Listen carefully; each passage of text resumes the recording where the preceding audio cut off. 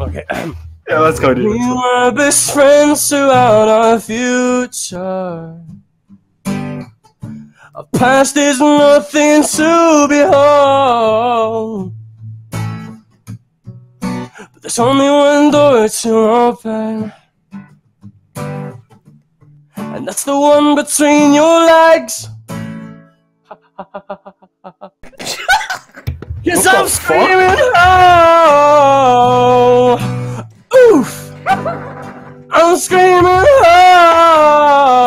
Oh, oof. She's bending over the table, getting ready for me to get more stable. My penis is rising more than it's dying. I feel like I'm ready, I'm already crying. I know this is my first opportunity. Oh, baby, I don't want to let it slip behind me like a black man in the shower the prison. Oh, cause I'm gonna get crazy, gonna get crazy. Having crazy sex with a woman who isn't an object. I'm crazy. Oh, the I'm going crazy. Having sex with someone I don't even know. But it's okay because I wore a condom.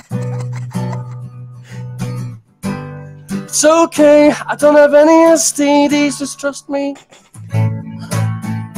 She started slipping on that thing, the made of rubber and a plastic lubricated. And I couldn't believe what I saw. It was too fucking small. That's an overstatement. It may have just fit me perfectly, but I'm a lying about my dick size. Because of insecurity. oh, this is my friend Gary. He plays guitar. He's helped me through a lot of tough situations. Get him late tonight, will you? He's been looking for a love on the past three weeks. He's been on dating websites and he's acting bleak. I can't see why he doesn't get any. He's, he's, he's so depressed. He tells all the ladies I can't get it erect because I'm acting shady and I I know why.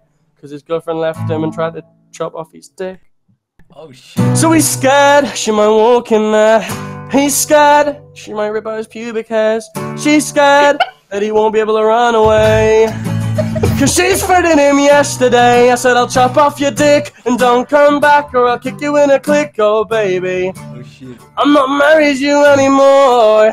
But I won't take nothing for an answer. Won't take you. If you go to the club, then I'll fucking hit you from behind. I'll get a black guy to fuck you in the prison showers.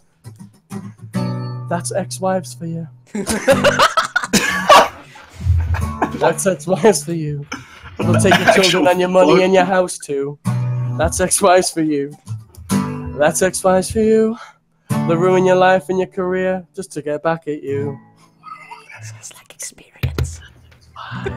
I'm 19. How, how the fuck do I have experience? I'm 19. By Shaun. by Shaun, experience. Ex- no, wait, by Shaun. The song is called Exit.